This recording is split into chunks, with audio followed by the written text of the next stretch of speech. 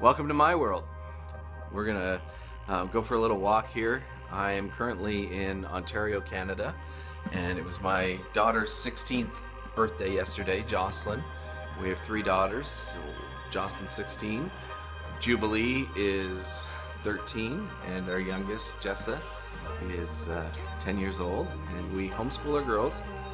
This is the, our two oldest right here on the couch. What are you guys watching? Meet the Robinsons. So uh, we are in a house that my parents are renting us right now as I'm on sabbatical. And we've been here for a little over a year. Uh, during that time, my desire was to really seek the Lord and see um, what He has for us in the next little while. And uh, in doing that, we feel strongly, uh, we being my wife, Michelle, and I feel strongly that He um, wants us to get back into full time ministry and really pursue uh, my calling in worship. Uh, I, I come from 18 years of worship ministry already. This is my desk. Oh, and this is my daughter's new selfie stick. So I'm, I'm playing with that. And, uh, you know, wouldn't be Canada without a wood stove, uh, my drum kit, my bass, um, just stuff that, that are tools of the trade when you're a musician and a worship leader. Let's step outside. It's so beautiful here um, that I wanted to kind of show your surroundings and you'll be jealous. Hopefully you guys don't wait 18 years to have a sabbatical and kind of remove yourself uh, from the situation. But here we are on the farm. It's absolutely incredible. Uh, why would we leave this? Well, I don't want to do construction my whole life. Uh, it's something we've always done as a side uh, thing, and I'll just show you a little example of um, what I've done in my spare time while I'm here. Oh, over here's I built chicken coops. Um, my wife and I have always had chickens in the in Denver, and um, we've kind of done the backyard farming thing, and uh, built a number of them for friends here in Canada. And whoops, over here is tree fort. This is what I'm currently building and will be leaving behind, but um, because this is my parents' property, it's something that um, you know we'll be able to come back and visit. Here are some of our chickens. Here Todd, our dog, in the background. Well, anyways, this gives you guys a little bit of insight into um, my life, my world. Uh, my wife has been canning and doing some incredibly wholesome things.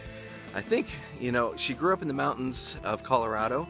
That's where I met her in Denver, and uh, um, we fell in love in YWAM, or Youth with a Mission, and spent 14 years serving um, as missionaries and training missionaries to go out onto the field. Um, during that time, I led the School of Worship for 10 years and developed a recording studio, uh, which is what I pursued after leaving YWAM, was um, developing worship artists and independent Christian music artist. So I'm walking over to a stinking huge garden so I can introduce you to my youngest daughter, Jessa, and my wife. This selfie stick thing's cool. I hope you guys don't mind watching. It's a little long, I know, but it kind of gives you an idea of who we are. And Jessa, here I'm gonna. Can you say say hello to this people watching this? Here, yeah, she's planting. Can you say hello? Hi. That's Jessa, and this is my beautiful wife Michelle. Hi. Hello. We um, have enjoyed being here and plan that this will likely be our last summer. Thanks. our last summer in um, Ontario as we hope to get a placement with uh, a church. We're open to um, really serving anywhere God has for us. The key for us is that we would uh, be somewhere that takes worship seriously. Um, I've taken it, I've devoted my life to glorifying God through music. Um, and yes, worship is a lifestyle, but it's also a discipline and it's uh, um, clearly an event too, because we dedicate 20 minutes to it every Sunday morning um, and, it, and, you know, give it our best. So, um, worship something I, I've done a lot of teaching on.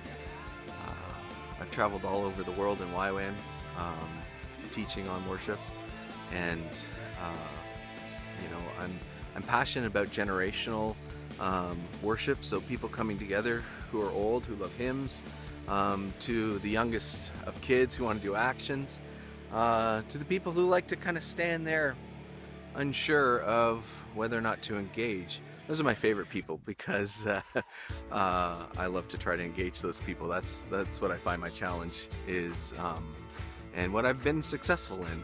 Uh, after leading worship for uh, many many hours uh, every week in YWAM, uh, we had worship times that went from half an hour to two hours three times a week. Um, just became uh, second nature to get up and, and lead people. Uh, it's something I love to do, and I recently just got footage. Uh, hopefully, you'll see that. Uh, from Faith Bible Chapel, which is the last uh, church that I worship in primarily. And uh, I think through that you'll see it's a team of musicians, none of them professionals. Um, actually, two of them I never played with before that Sunday because it was unique circumstances leading there.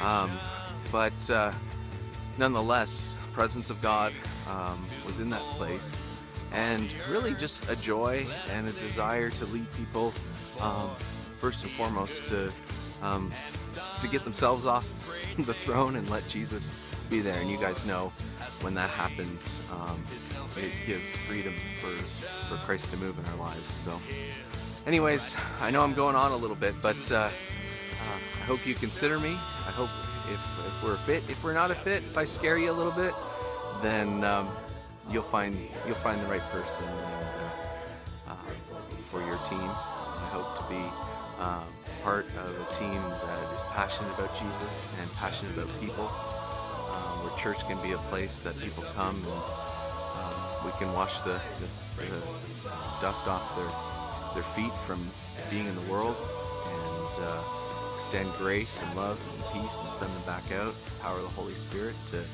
um, to be missional, to change the world around them um, through the power of Jesus in us. Anyways, thanks for watching.